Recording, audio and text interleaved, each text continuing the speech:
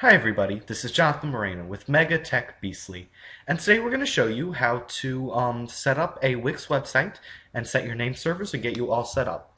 And this is only for a regular website if you want your .com, not the .wix.com. So here we are, we're going to go first to wix.com, and I think I'm already signed into my account. Yes, so first we're going to get everything started. Now this is only if you've already set up your premium account.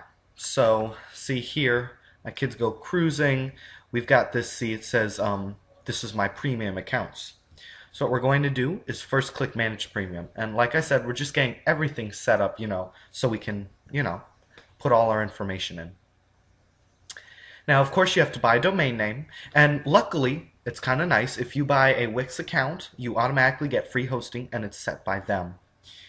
So what we are going to do is first we are going to go to GoDaddy. Now here I have my website kidsgocruising.com and this is all my information here. So first what you have to do is set the name servers. Now of course you have to have your premium account. So name servers for Wix are ns21.domaincontrol.com and ns22.domaincontrol.com. And what you will do is you will copy and paste those into your name servers. So here's your main screen this is your uh, domain manager, and you click Manage Domain Names and Set Name Servers. And then you will set I have specific name servers for these domains and put in your two domain names. I'll just keep this up for a moment. And you'll just put those in and then click OK. And it'll validate, submit it. It'll take normally up to two hours, may take up to 48 for these events to take change. So we're done with that. We've set our name servers, and we're done with Wix. We've set that. So every the hosting's set up, but the website's not there yet. So what you have to do is you have to go to your domain page on your Managed Premium account on your Wix account,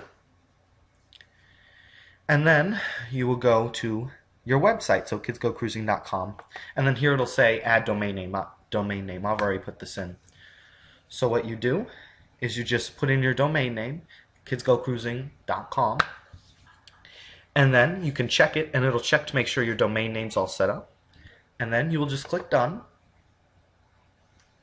So there, we just activated it. We'll go back to Wix. And now all you have to do, everything's all set up, so now all you have to do is just go to your My Account. This is the last step if it loads. Here it comes. And then go to your website.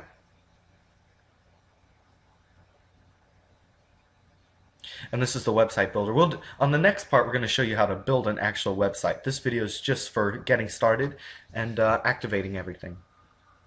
So it's loading up my website now that I've created.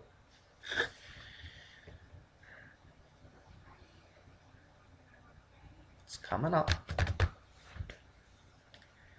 And now all you have to do, here's the website.